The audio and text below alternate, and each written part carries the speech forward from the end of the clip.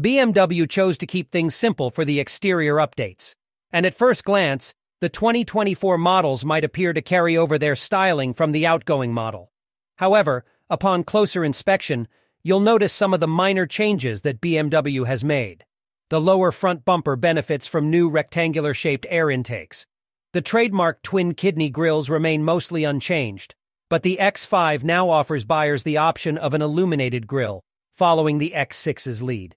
This optional feature has been increasingly appearing on other members of the BMW family in recent years, and its debut on the X5 is the latest example of this in action.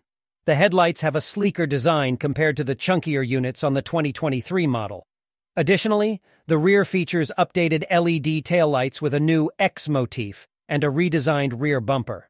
Furthermore, with the updated iDrive software, BMW's intelligent personal assistant has gained new capabilities, it can now respond to voice commands for tasks such as adjusting the temperature, opening or closing the panoramic moonroof, and controlling various driver assistance features.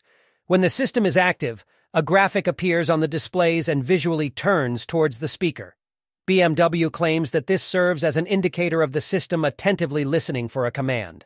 375 horsepower, turbocharged 3.0 liter inline 6 with mild hybrid technology.